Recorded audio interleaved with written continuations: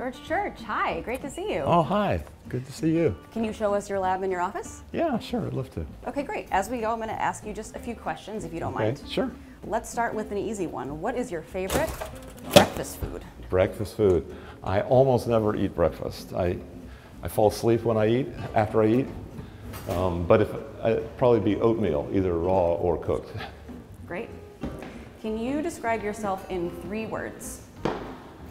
Three words: uh, scientist, engineer, humanist. All right, and as we're coming up to your lab, can you tell us in 30 seconds or less what you do for work?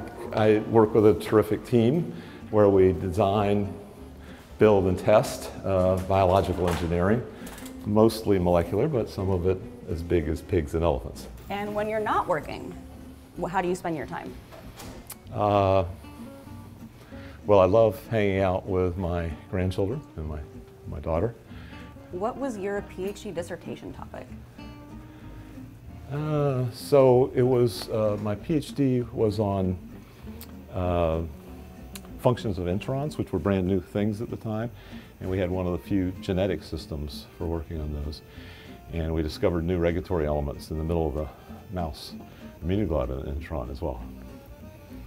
What do you think will be the biggest scientific breakthrough during your lifetime? Scientific breakthrough will, probably be something that we hard to imagine, but I hope it has something to do with uh, curing diseases of poverty and uh, diseases of, of aging uh, that will kill 90% of us.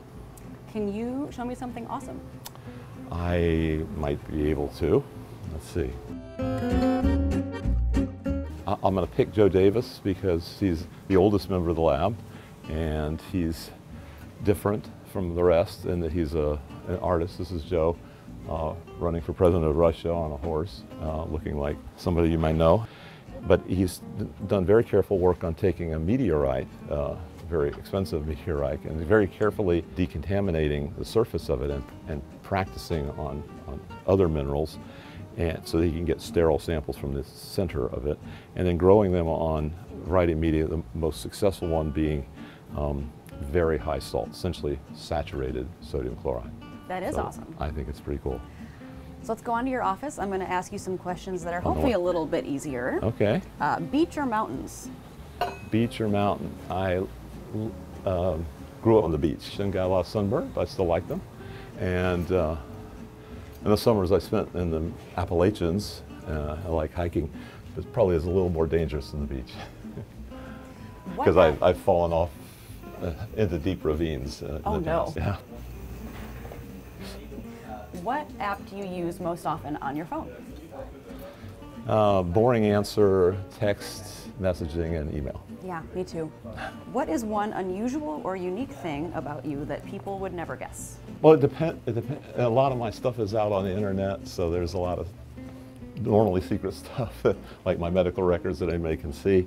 Um, I think that people don't know me might be surprised to see me skiing at the age of six months old, water Wow. skiing. Oh, important to differentiate. yeah. Are you an introvert or an extrovert?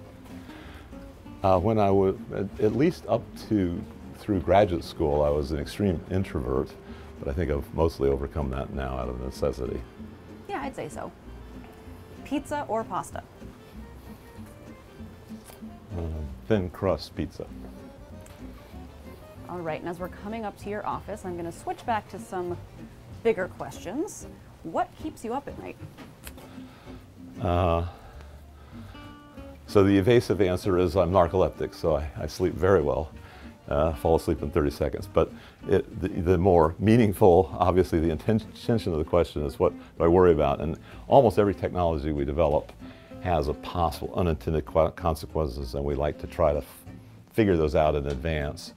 And so I do that for almost every project. I work with other people, bioethicists and so forth, to make sure that the, the public is involved in that discussion.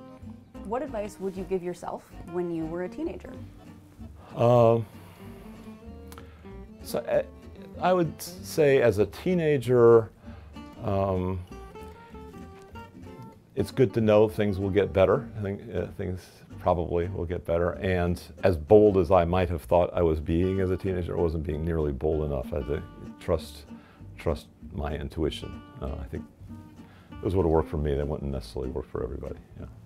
What is your favorite place or thing to do in Boston? I think the Emerald Necklace and walking along all the water uh, waterways of Boston and riding my bike all the way out to Cape Cod along that bike route one. Those are some of my favorite things. If you could have dinner with another Wyss faculty member tonight, who would you invite?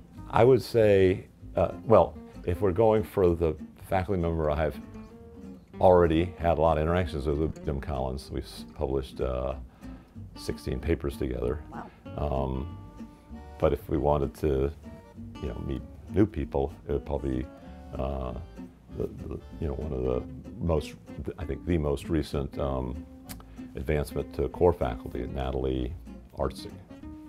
Cool. Well, we'll send her the invitation. Okay. What accomplishment are you most proud of?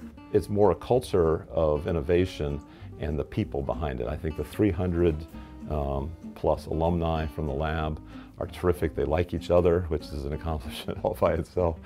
And they, they come back and they help next generation. So I, uh, that would probably be my choice. Is this your lab right here? And, and this, this is a current lab. This is not the alumni uh, conspiracy, but this, these are um, people that make that really make life here uh, creative and fun and, and productive. Awesome. Last question. What is the weirdest object in your office? Oh, wow. Uh, let's see.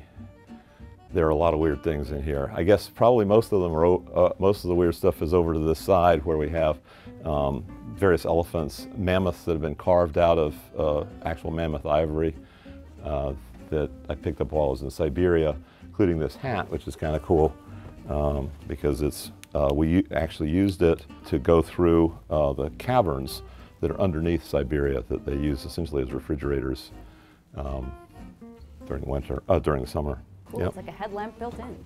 All right, George Church, thanks so much. Thank you We'll be on our way. Have a great day. Okay, take care. Yep. Um, really nice, uh, enjoyed it, thank you.